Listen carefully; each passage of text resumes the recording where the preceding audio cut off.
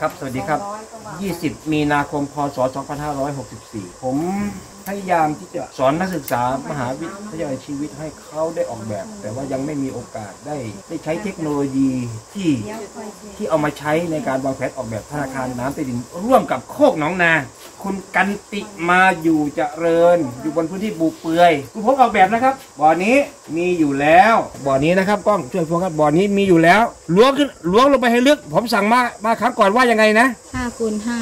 เออเป็นล้วงตรงนี้แหละ ลงให้ลึก แล้วพอล้วงเสร็จอะไรจะเกิดขึ้น น้ำสีดำสีขาว สีเขียว สีกาแฟ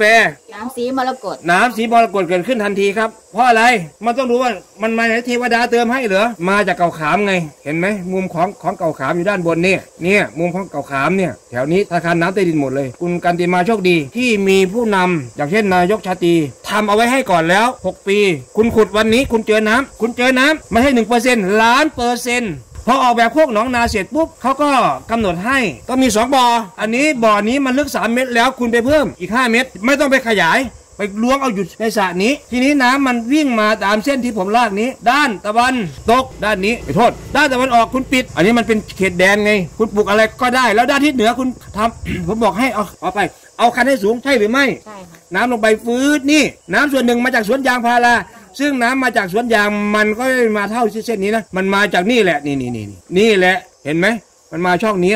ช่องนี้มันจะไปมุมนี้มองเห็นหมดครับ เส้นทางที่มันจะไปดังนั้นพบขีดเล็กๆคุณสามารถฝากน้ำได้ คุณสามารถเติมน้ำได้ คุณสามารถเก็บน้ำได้ธนาคารน้ำใต้ดินคุณจะต้องเปิดรับน้ำที่ไหลเข้า อันนี้ตะวันตกเฉียงใต้ อันนี้ด้านทิศตะวันออกเฉียงใต้ กั้นทิศเหนือเอาไว้เพราะไม่ให้มันหนี ขอบคันสูงเอาไว้ ด้านนี้เปิดคันให้น้ำไหลเข้า ถึงจะเรียกว่าธนาคาร ทีนี้บ่อที่สองผมจะชาร์จน้ำจากบ่อนี้ มาหาบ่อนี้ บ่อนี้ก็อยู่ทางทิศใต้ ห่างกันประมาณ 70 เมตร ซึ่งบ่อนี้มาน้ำมาจากถนนซีกนี้ลงนี่วิ่งเข้าวิ่งมาด้วยความเร็วความลาดเอียงนะ ความลาดเอียงนะ ดูช่องนี้ ผมให้ดูความลาดเอียง ตัวนี้สูงไหม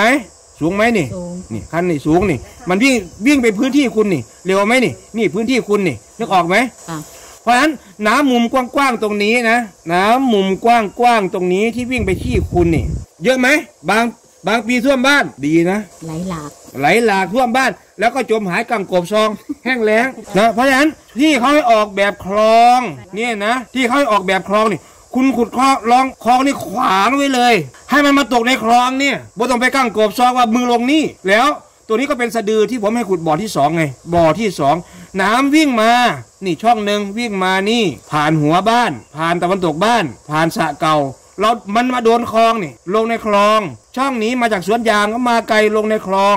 ช่องนี้ก็มาลงในคลอง เพราะฉะนั้นคลองล่องนี้เป็นคลองไส้ไก่ที่มีการเติมน้ำอยู่มุมนี้ต้องต่อหากัน ด้านที่ใส่ขอบไหมที่ใต้ใส่ขอบไหมต้องใส่ เพราะทำไมถึงไม่ต้องใส่รับน้ำค่ะคะแนนเต็มสิบเอาไปสิบเอ็ดคะแนน ต้องใส่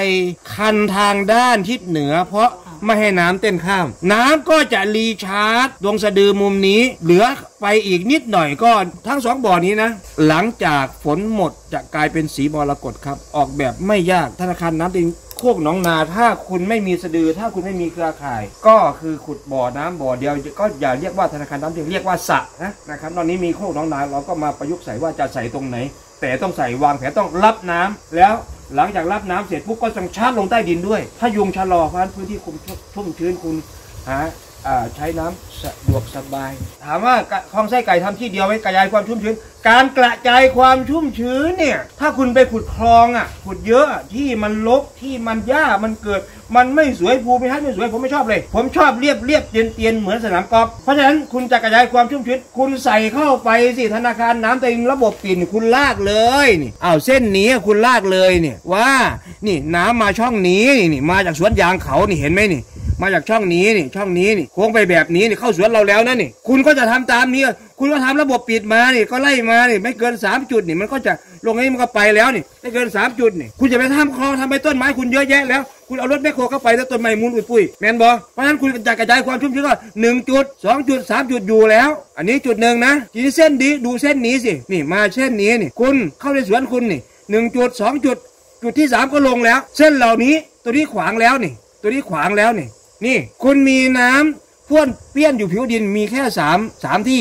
จะลงทางด้านนี้ที่มันเคยท่วมขังบริเวณบ้านคุณของคุณเนี่ยเป็นน้ำไหลหลากเนี่ยมันจะไม่มีแล้วเพราะว่าหนึ่งตัวนี้ขวางทางด้านนี้ เราก็โดนตัวนี้บล็อกอีกเอาแค่จุดเดียวก็พอคุณจะกระจายอะไรอะไม่ต้องเห็นลงทุนเยอะเลย คุณทำระบบปิดไม่เกิน 3 จุด 3 จุดเป็น 6 7 จุดค่ะพอแล้วคุณจะกระจายความชุ่มชื้นสวัสดีครับ